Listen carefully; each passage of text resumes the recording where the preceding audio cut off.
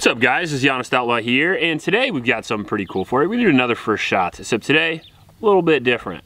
We're gonna be doing a 22 pistol, but be a little bit bigger than your average 22 pistol. Uh, this is the smaller version of the much beloved M&P 1522. This guy is instead of being the uh, 16 inch rifle version, this is actually the uh, pistol version with the 8 inch barrel, which I think is pretty sweet. Uh, this gun was released in 2021 and it largely was not covered by anybody that I'm aware of and I'm kind of surprised about that considering uh, how useful this gun really could be and how fun it uh, potentially would be to shoot. Now I say that because I haven't shot this yet but I have had extensive experience with the 1522. Uh, the rifle version was actually my training carbine for many years and I do have two versions of it and I have modded them a great deal. So overall, I've got a lot of experience with the platform, just not with the shorter version. Now, with the shorter version, you are going to get an 8 inch barrel instead of the 16, so you're going to get a little, less, little bit less velocity, but you get a lot more portability, which is really nice. 8 inch barrel still a lot more velocity than you're going to get out of a handgun, like your standard handgun 4 or 5 inch barrel. And then on top of that, you get the threaded barrel, so you easily can throw a can on it, and a 22 with a can's a lot of fun. You get an M-LOK rail instead of the old school rail, which is really nice. I remember back in the day with my M&P 22, if you ever saw the old videos I have of that, you're trying to like customize stuff and swap stuff to get an actual rail on there. And uh, it's nice that it comes with not only the M-LOK rail, but it's super light as well, which we'll get into. Also comes with my favorite brace, the SBA 3 brace, although it's a little rattly on this version. I don't know if they're all going to be like that, but that's how it is. And now if you have the SBA 3 brace, you also come with the standard uh, QD mount and uh, the uh, five position buffer tube there. I think it's five position. No, it's just two two position buffer tube. That's what I get for not doing any research. It Also comes with the MOE grip uh, from Magpul, which is pretty sweet with that slightly uh, more vertical angle, which is pretty nice as well the reason you would get something like this is going to be for varmint hunting, uh, pest control on the farm, but uh, most of it is just training uh, for your standard carbine. So has all the same controls as your standard AR and a whole lot less cost when you are shooting it. A little bit more cost in 2021 than you would have had in like 2019, for example, but it's still gonna be one third, one quarter, one tenth the cost, depending on what type of 22 ammunition you're gonna be using.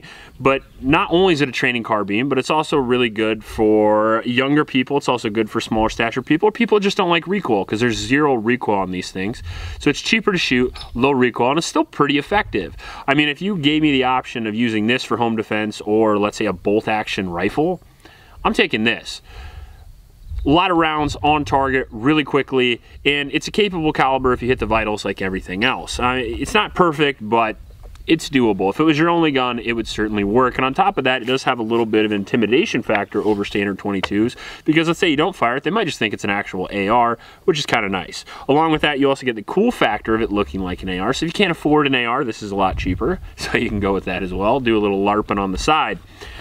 Picatinny rail, uh, standard charging handle, standard controls, and a standard mil-spec trigger make this very basic, but really good for the money. Now along with that 8 inch barrel, you only get a 53 ounce overall weight, and that's because of the uh, liberal use of polymer in the gun and the fact that it doesn't need to be overbuilt because there's not that much chamber pressure with a 22. So 53 ounces, I mean, I have, I have literal competition handguns that are heavier than this thing, so you'd have no problem if, let's say you're squirrel hunting, rabbit hunting, something like that, carrying this bad boy all day, and I could easily take a rabbit with this guy out to 100 yards. So really fun uh, hunting experience, and overall overall super useful and valuable and cheap uh, gun, providing that it's reliable and accurate, of course.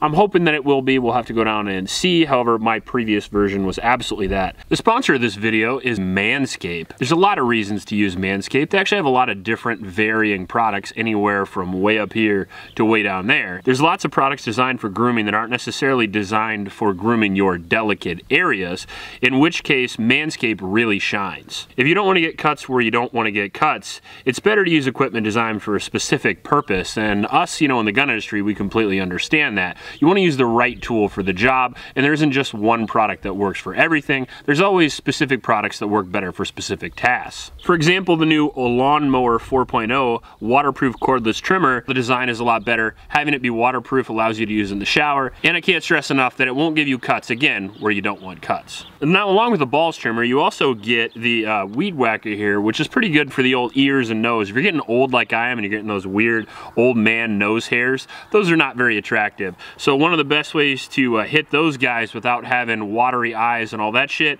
is with this guy. So if you really want a one-stop shop for all your manscaping needs, it's really the way to go. If you want to hit your balls and then you want to have a different trimmer to hit your nose and your ears, obviously you know, you'd like to have a different trimmer for that. Uh, the whole kit's a really awesome way to go and it comes with a whole bunch of other stuff as well. There's also a link in the description that you can use along with the promo code OUTLAW20 which is going to get you a whopping 20% off. That's a pretty good deal. Along with that you'll also get free shipping. So if you're interested in Manscaped, all you got to do is go to the link in the description, click that, and get after it. So with that said, let's go down to the range and uh, shoot it. Uh, one thing I do want to mention is we're going to be also testing out this Riton optic. Uh, Riton did send me this uh, red dot here, so we're going to be testing that guy out as well, uh, along with the M&P, and then you'll get a full review of this guy sometime in the future, along with the 1000 round review of the 22 pistol. This Riton red dot's bright as shit. It's only on three, and it's really bright already. That's funny, I was waiting for the recoil. There's no recoil.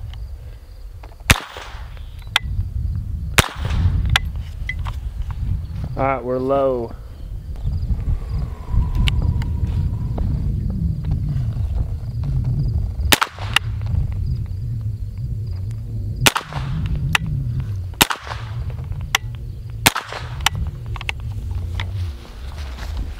These are not like super awesome groups. They're just kind of getting zeroed.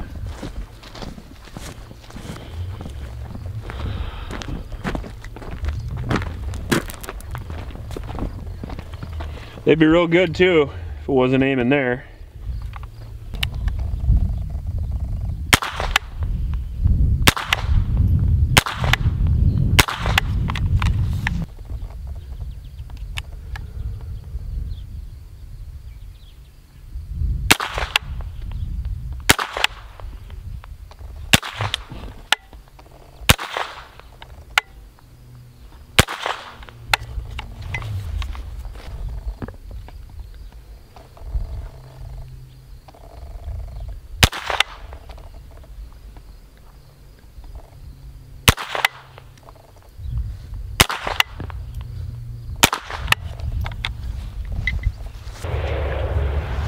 I think we got it zeroed. Only got like five rounds left. I'll just play around on the plates and see. Oh yeah. Let's go down and look at that 25 yard group on that plate. I mean, I was shot real, fa really fast. I mean, not really fast, but pretty fast.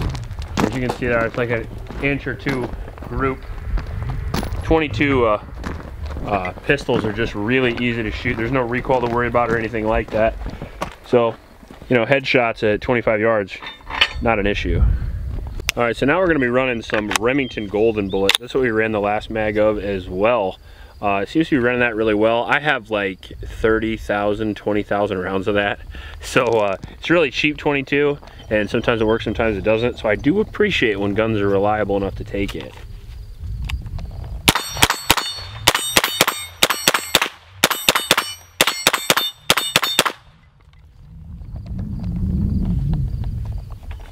It's just fun. Little hip shooting at 20. Gotta love it. A little bit of fun. Got some of these shorties too. They're my hunting mags. Shoot a little left-handed hip. See how that does.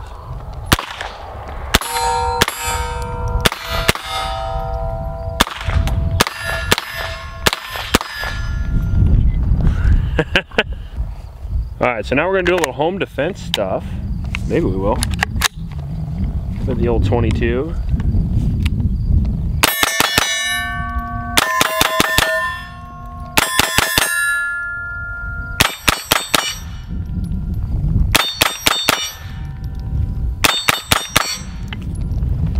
Hostage target was not a problem. This thing is so much fun.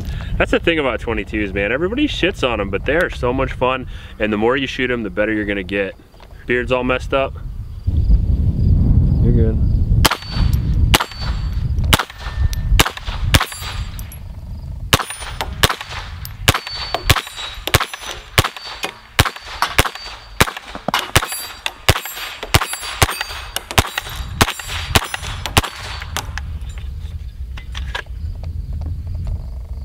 What'd you think? It's a lot of fun. I like Yeah. it. Hard to beat a 22. It huh? really is. There's so much fun. As far as shooting, pleasure, experience, all that stuff goes, 22 is right up there just because it doesn't break the bank to shoot the damn thing. And you can shoot it real fast, low recoil, no sound necessarily. Put a can on that bitch and there's literally no sound. So, I really like this thing. Comes with all the accessories you need, none that you don't, except for maybe those shooting glasses you got there. Mm-hmm.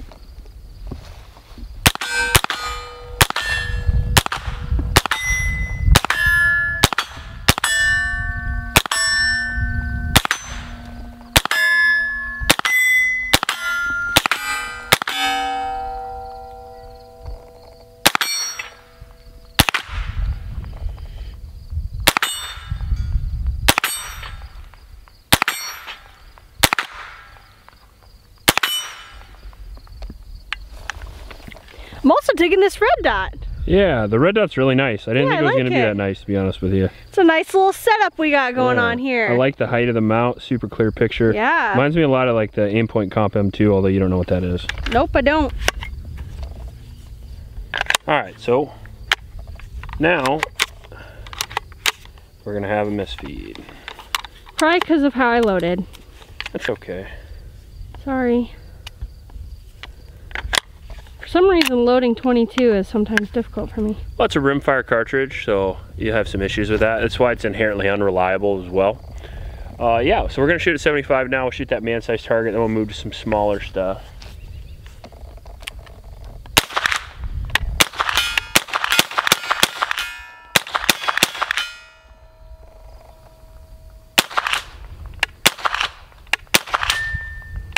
It's not gonna knock the poppers over, apparently. Certainly not. Not enough power at all.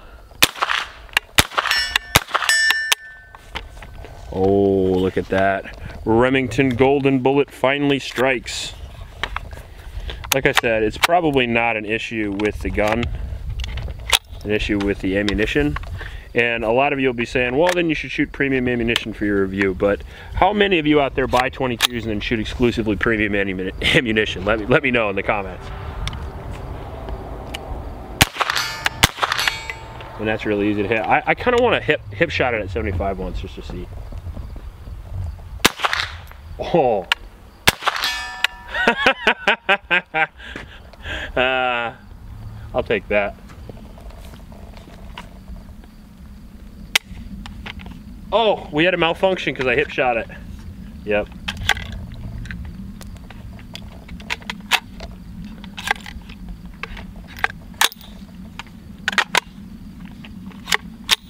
If I went back to CCI, the stuff we were using at the very beginning, I seriously doubt this would be an issue. This is pretty classic Remington Golden Bullet stuff. And it might have something to do with the fact that I didn't lube it out of the box. I like to do these first shots videos a lot of times literally just out of the box. I take it out of the box, put the optic on, you watch me uh, you watch me zero the optic and uh, then you get to watch the first shots because that's what a first shots video is. It's not a preparing for a first shots. So we'll go give you my final impressions. All right, so first final impressions, first impressions. Uh, we're gonna do this quick because it's starting to rain and my wife says she will melt, so we're gonna hurry up. Um, all the accessories I like a lot.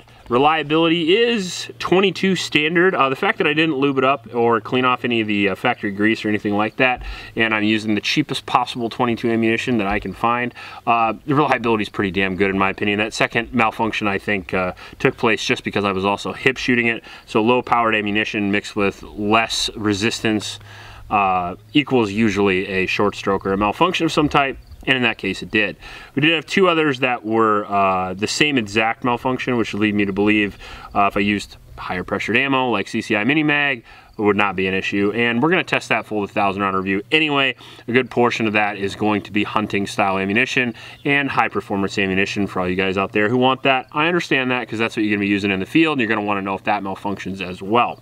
That being said, the majority of the time you're gonna be shooting at 22, it's gonna be cheap bulk ammunition because it's gonna be for training and fun and all that stuff. So in that case, that stuff functions really great. Accuracy of the gun's pretty awesome. Uh, able to hit even the poppers at 75 yards, which means the middle of those poppers are only six inches.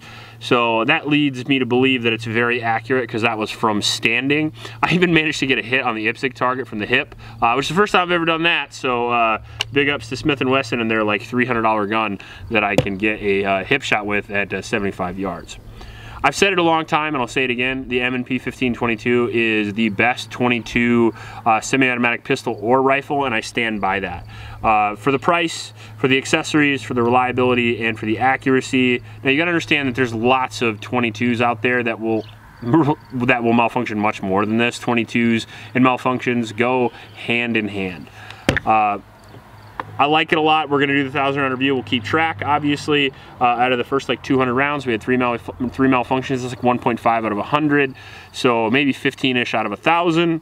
That would be a good standard to hold. As long as it kept that, I would be fine. I have a feeling though that it's gonna malfunction a lot less with higher quality ammunition. Trigger's good, although if it was going to be my uh, competition uh, training gun, I would obviously replace it with a uh, trigger that is more in tune with the gun that I'm training uh, that I'm actually using in the competition.